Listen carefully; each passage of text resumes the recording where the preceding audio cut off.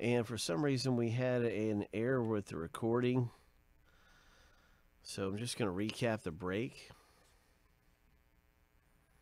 But I've got you guys as trade uh, input. And, well, uh, this is a recap until we can recover the video. We did have a problem with the video recording. Uh, but we randomed off the teams. A lot of us were here to watch this live. There was even a trade uh, during the break and stuff. A lot of us, like I said, we're here to watch this live. And we did a random, and everybody got their teams randomly. And that's how it looked after all the randoming was finished, right there. Then we got into the box break of Inception. And we started off with a Tim Anderson.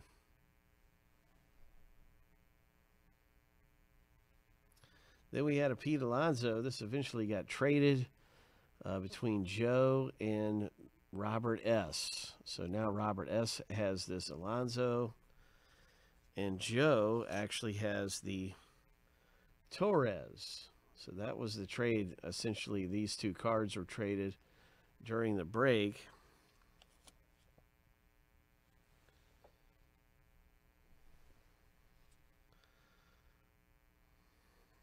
And then we had the Cristian Pache, Atlanta Braves for Dylan, Acuna, green parallel, and then the auto came out. Boom, boom, boom, boom, boom, boom, boom, boom. Which was a Cubs auto. Hope Cubs hit really nicely in the box break. It was a pretty good Cubs break there, uh, especially for Dave. This one was number to 50, 39 of 50 for Dave. And then the Correa came out at the very end of the break for Mr. C. So that was really nice. A green parallel Correa.